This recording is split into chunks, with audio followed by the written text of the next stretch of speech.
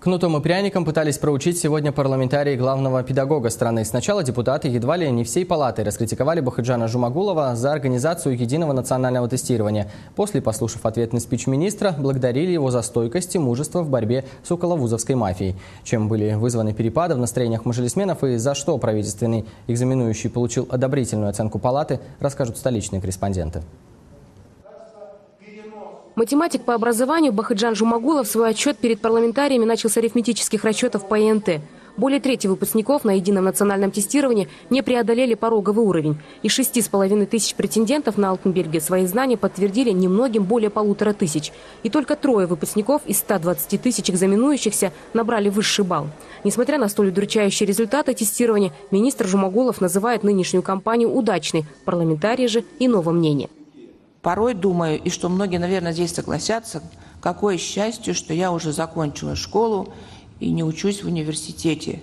Вряд ли кто-либо из нас, уже взрослых, согласился бы пройти сегодня все то, что испытывают наши дети, получая образование. Пока одни депутаты ностальгировали по советской системе проверки знаний, их коллеги возмущались нынешней. ИНТ не выявляет самого главного – уровня письменной грамотности и устной речи. Отсюда и своеобразная лексика у современной молодежи. Хотя молодежный сленг был во все времена, но сегодня наблюдается ее особенный расцвет.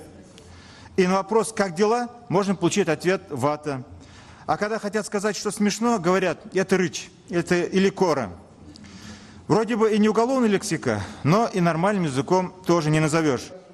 Министр Жумагулов наступление депутатов принял спокойно, недолго думая, перешел на контратаку. Единичные случаи с раздеванием школьников у входа в пункты тестирования их родители раструбили по всей стране, тогда как сами порой вели себя, мало сказать, варварски, не стесняя себя в выражениях, заявлял главный педагог. Например, в э, Чемкенской области родители, родственники разбили стекла с 12 часов до 4 вечера, сидели рядом с детьми, решали задачи.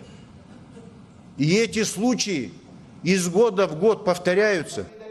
Шум вокруг комплексного тестирования для выпускников колледжа, по мнению министра, тоже раздули искусственно. И обвиняет он в этом ни много ни мало околовузовскую мафию, которая получает миллиардные прибыли от расплодившихся при вузах колледжей. При этом выпускники этих колледжей, со слов Жумагулова, не могут внятно написать свою биографию, продолжают учебу в тех же вузах на платной основе. После таких откровений министра депутаты, сменив гнев на милость, пожелали министру удачи в борьбе с вузовской мафией, отпустили его, предварительно одобрив отчет. Рамиль Смаилов, Нурбалат Исаев, Астана, Казахстан.